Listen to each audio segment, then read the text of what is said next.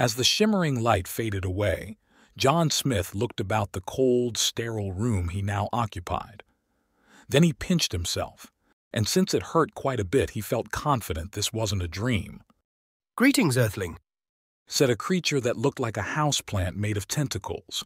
This was the first time a human had ever seen an alien, and so John Smith felt it appropriate to mark the occasion with a suitably historic statement. Ah. Please don't be alarmed. I will not hurt you. Oh, that's good. However, my master is an intergalactic warlord who plans to conquer your planet. John Smith repeated his iconic first contact speech. I'm really very sorry about all this, but it's his way. He wishes to speak with you, an ordinary human, to best assess the military capabilities of your planet. He doesn't bother with soldiers because they just brag about how strong they are. And he hates politicians because they just try and surrender immediately. What you tell him will determine whether your world is invaded or not. No pressure. Rather reluctantly, John Smith was led from the teleportation chamber through the alien warlord's vessel. He was steered through an ominous doorway into a vast, dark chamber with a glowing ring in the floor at the center. A mass of angrily quivering tentacles stood at the far edge.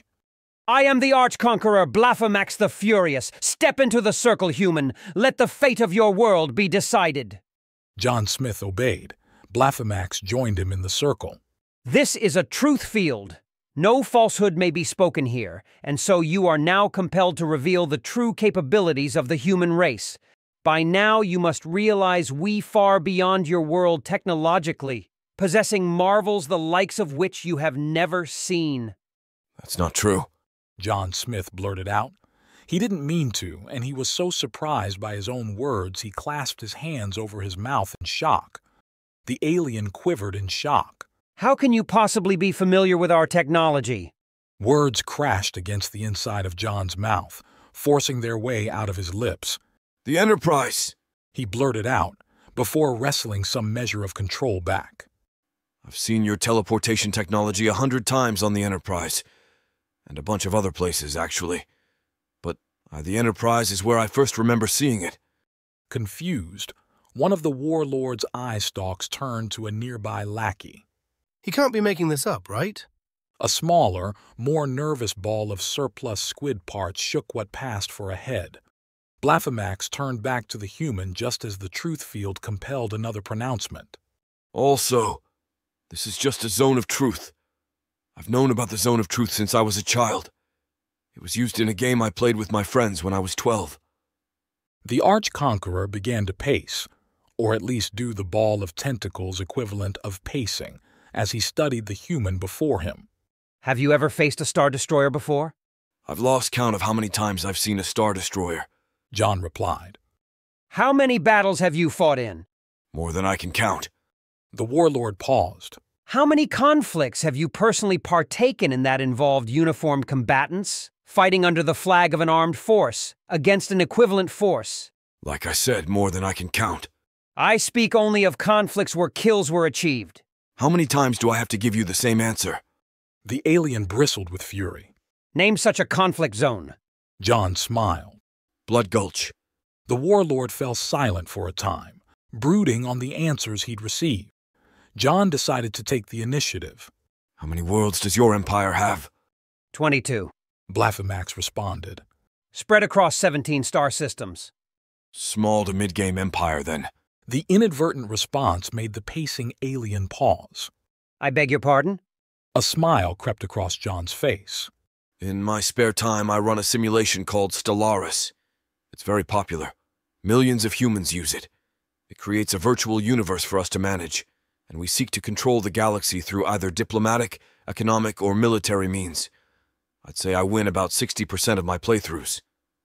The tone of the warlord's voice changed. Are you telling me that ordinary humans, civilian humans, routinely engage in war game exercises? Absolutely. In fact, simulated conflicts are one of our most popular hobbies. You know of advanced technology, yet we see no sign of it. You simulate galactic conflict, yet you live upon a single backward world. This this must be a deception. You must be lying. I cannot lie within this circle. Then what am I missing? No answer came. There is something you are holding back. What is it? Explain to me why a species that has knowledge of advanced technology would not have it in widespread use. John felt his chest tighten as the truth field tried to drag words out of him. He knew by now to get ahead of the sensation. Those simulations I told you about? We often play them against AI. Machine intelligence is designed to follow certain pre-scripted parameters. I'm sure you do the same in your own war games? Yes, we do, the warlord answered, though seemingly not by choice. By default, those simulations make all factions roughly equal. Same starting resources, equivalent territory, average skill at combat, and so on. The reason I only win 60% of the time is I give the AI a large advantage. They get more resources, their weapons are stronger than mine. They are allowed to cheat by having access to knowledge they shouldn't have. I run these war games at a considerable disadvantage, and I still win more than half the time. Blaphamax went quiet. You deliberately put yourself at a disadvantage? John nodded. It is far more satisfying to defeat a superior opponent than to crush an inferior one. Every time I win, I make the next game slightly harder. He leaned in and whispered, Just between you and me, from what I've seen of your technology so far, I can say with absolute confidence that a war between my world and yours wouldn't even be close to a fair fight. I'd be amazed if it lasted a week. For a moment, John feared he'd pushed his luck. The eye stalks of the Arch-Conqueror fixed him a glare.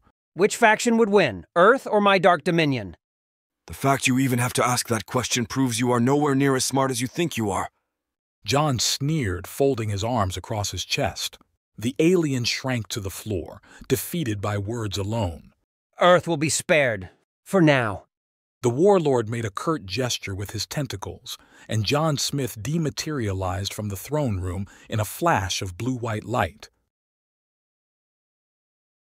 Thank you for joining us today, and hopefully, I'll see you in the next one.